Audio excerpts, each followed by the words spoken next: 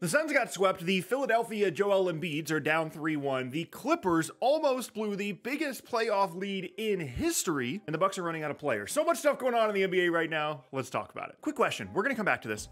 How long ago do you think this video was? I posted this yesterday. That is me. How many years ago do you think this video was? So the Sun season is now over. They got swept in the first round by the Timberwolves, and game four really looked a lot like some of the other games. They looked competitive. They were good in the first half. They lost the second half, and now the series is over and the season is over for the Phoenix Suns. And we talked about this in one of the other videos, right? Bradley Beal talking about the fact that he's never been swept a day in his life. Uh, as the Timberwolves account pointed out, First time for everything. What a disastrous way for the season to end for Phoenix. And of course, immediately after the game, as is tradition, anytime you are forced out of the playoffs, anytime you have an embarrassing end of the season, you have a lot on the line, all of the stories suddenly come out about your team after the games are over, they've got them ready to go. Apparently, shockingly, Kevin Durant not happy with his role in the offense in Phoenix. Didn't like the way that the offense was ran, thought it was too focused around pick and rolls and too focused on him just standing in the corner, not fitting towards his strengths enough. It was too focused on Bradley Beal and Devin Booker pick and rolls. Of course, we're hearing about this now. And of course, we're also hearing about the fact that we have to have a fall guy.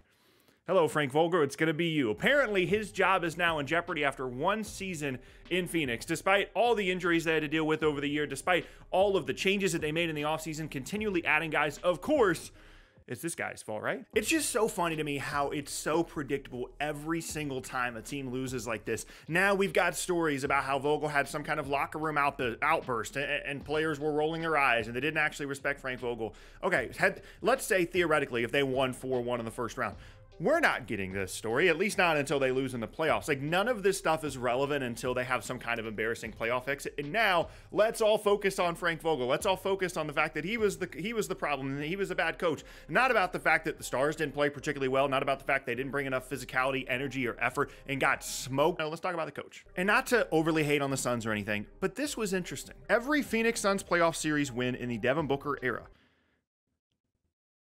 Hmm. Now, that doesn't necessarily mean anything, but uh, it might mean something. And I'm sure plenty of people today are going to be talking about what's the offseason going to look like in Phoenix? How can they make some moves? How can they change things around? They're a couple of moves away from actually being a really good team. Change the coach, make some changes to the roster. Here's the problem this is the roster, as is pointed out here. Like they can't do anything. This has been an untenable situation in terms of future roster flexibility from the moment that they traded for Bradley Beal. They were locked into this group. Bradley Beal still today has a no trade clause. If in the offseason they wanted to trade Bradley Beal for a second round pick and a giant expiring contract just to get him off the team, they couldn't do it. He would have the option to say, you know what, I don't want to do that. I'd like to stay in Phoenix. And he can just activate his no trade clause. I don't know why I said activate, but I'm sure I'll find a way to make that make sense. I mean, this was the point of the second apron. And the Suns knew that these rules were going into effect next year when they made all of these changes, when they brought in Bradley Beal, when they traded away all these picks, when they did all this stuff. They knew that this was going to be a thing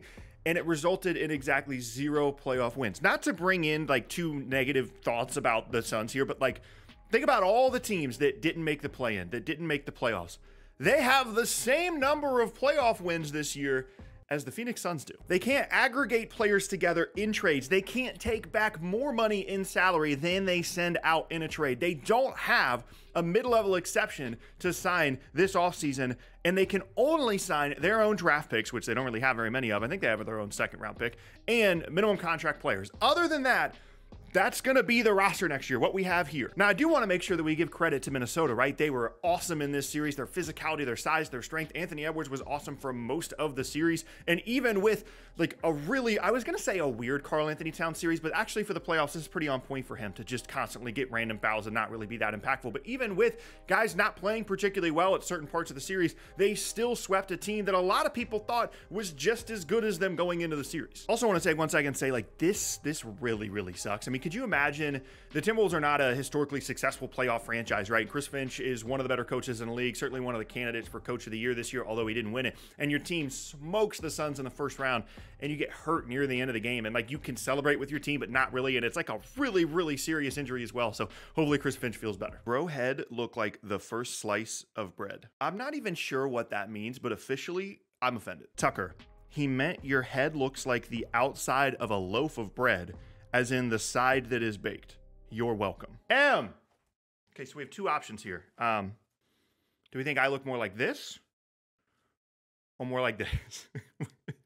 Which was he referring to? All right, now we're going to talk about the Philadelphia Joel Embiid's versus the New York Knicks. Unfortunately, Philadelphia is down 3 1 in the series. It looks like their season is all but over, even though a lot of these games have been close these are just two devastating losses for Philadelphia to try and recover from. This one, as well as game two. And KOC points this out. Joel Embiid just logged the 11th postseason loss of his career, which he finished with a positive plus minus. And it happened in all three losses of Sixers Knicks. The Sixers are now plus 34 with Embiid on the floor in the series and minus 37 without him. And the crazy thing is, Maxey has been awesome. It's just they're not good enough without Embiid on the floor. It's just not tenable for them to compete with really good teams in the conference without Embiid out there. And by the way, he's not even fully healthy, and he's still been really good at points in the series. This is a massive issue moving forward for Philadelphia, not only within this series, but also for the future of their franchise, because you don't know at what point everything is just going to fall apart for Embiid anyway, especially as he continues to fight through all of these injuries. I probably should just leave that on the ground.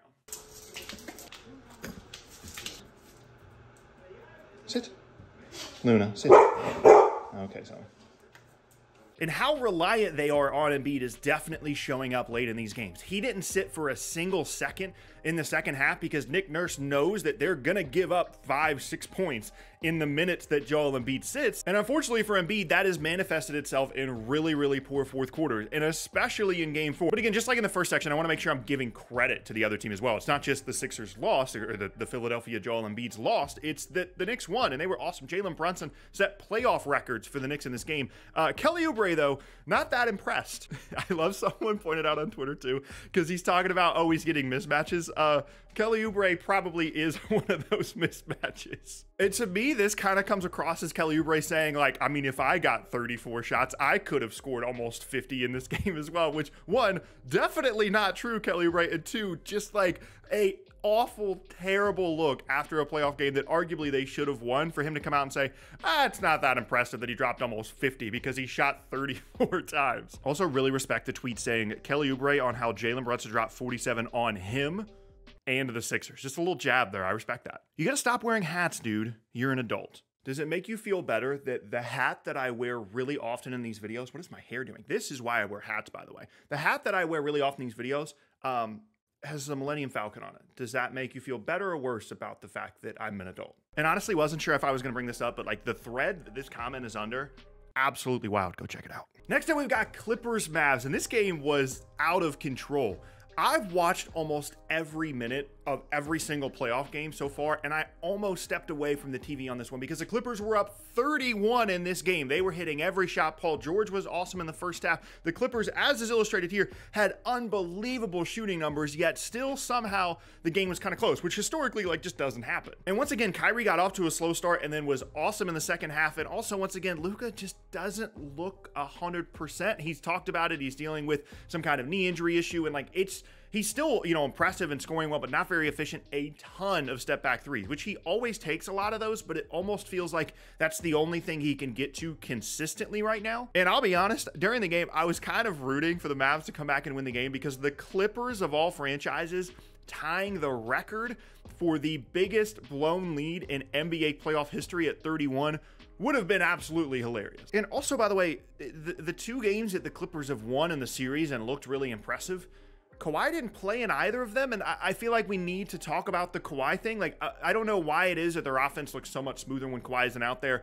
He's continually dealing with knee injury issues, and that's what made him miss this game as well. He's probably going to be out for the rest of the postseason. Like, I can't imagine. Like every everybody that's a fan of an NBA team, I'm a fan of the Nets. You guys all have your fandoms you all have, you know, frustrating postseason. There are times in which you're like, man, I wish this team could get it together. Could you imagine being one of the 12 Clippers fans on the planet and be like, man, every single time we get to the postseason, it looks like we have a good chance. We're just missing our best player. Like, could you imagine every single time the Sixers get into the postseason, Joel Embiid gets actually Joel Embiid that that him getting hurt. No, that does happen. But could you imagine, like, every time in recent playoff history, the Lakers look like they're going to go on a run, and then LeBron or Anthony Davis, they have an injury.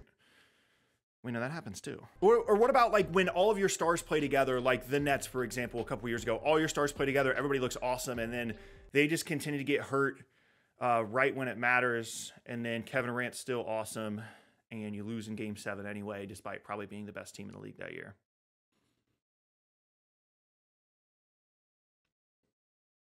I don't I don't even know if I want to finish the video. But yeah, like still an unfortunate situation for the Clippers. They're, they're still capable of winning the series, by the way. It's 2-2. They have home court advantage and they've won the two games that Kawhi hasn't played in, but still got to be frustrating, right? Last up, let's talk about Bucks Pacers and oh my gosh, that just came out of nowhere.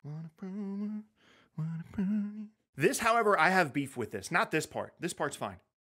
How dare you? That commercial is goaded. BK, have it your way.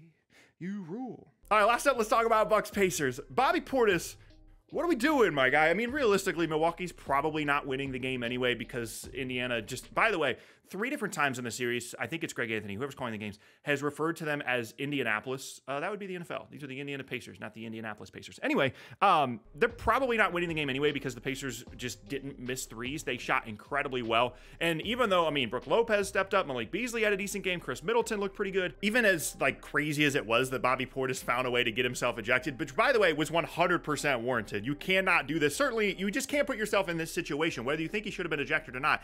Just, just don't do this when you're like the second best player on the team in a given night and you're Bobby Portis. And at this point, Bucks down 3-1. Uh, it seems unlikely that Dame is going to play in Game Five. It seems extremely unlikely that Giannis is going to play in Game Five things are looking very, very rough for Milwaukee. And honestly, like if they were to lose the first round series against Indiana, like that would be unfortunate. It would have been nice if Giannis and Dame and these guys were healthy. But like I'm not convinced that they were really going to do much in the postseason anyway. I've been down on this team all year. The midseason coaching change. This is just probably the destiny of this Bucks team just based on how the year has gone. And like, if you need any proof of that, we've got like Danilo Gallinari doing stuff. We've got AJ Green and Malik Beasley closing games there at the end. And at the point in which Khris Middleton sprained his ankle and I thought he might not come back in a game, uh, I put this one out. We talked about this in the intro. Yeah. Um, I'm what am I? How old am I? I actually don't even know how old I am. I know I'm not 30 yet, but this video was like five years and about 30 pounds ago. And also I'm 6'4. So like it's not super impressive, but that didn't stop me from throwing it out there. and that's everything that happened in the NBA day. And that's everything that happened in the NBA yesterday. BK, have it your way. You rule. Gotta hype yourself up sometimes. and that's everything that happened in the NBA yesterday. I'll see you all next time.